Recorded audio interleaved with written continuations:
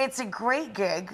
17 years in television Yes. is like beyond dog years. That's like 700 years and any other thing you Oh, want to compare it to, right?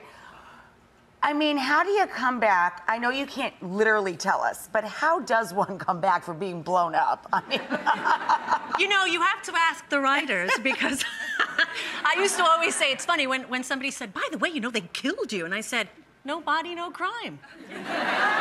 "Are we- are we-"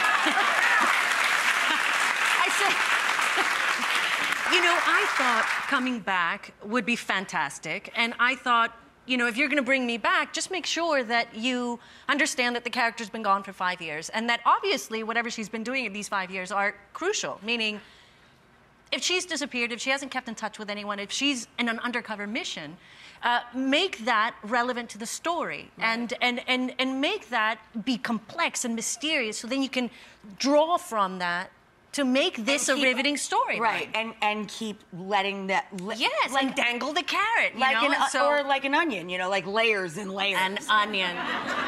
She a cook. layers and layers. What was it like going going back home? Really, you know, going back to the show. Did a lot change, or did surprisingly nothing change?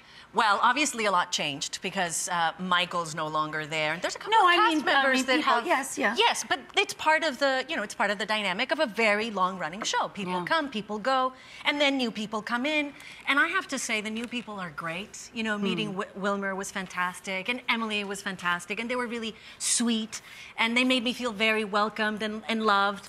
And the first day on set, I'm not sure if you know this, but they made everyone sign non-disclosure agreements, which means no one could talk about this mystery guest they were having as an actor. And um, and it was a they closed the set. Everyone was released except for these, like maybe 25 people who were going to work that The tiny scene, right, for that tiny scene. scene. And uh, and so they brought me in, and literally it was like. Uh, you know, like an undercover mission. I had the executive producer That's going, "You're about to come in, duck," and I was like, so I was in a back seat of a car, taking it all super serious, Oh right? Because it's me here, and I'm like, I'm ducking, I'm ducking, you know. and I go in, and they're putting on all, you know, clothing and makeup and all that, and then before you know it, I walk onto the set, and there's my old crew with a couple of new faces, and they just all clap. So good, right? And it was very emotional and like I never left. I it was like that. just like going back to your house. I'm sure I don't need to tell you guys this, but obviously you should check out NCIS tonight for their season 17. I literally just gave myself a chill.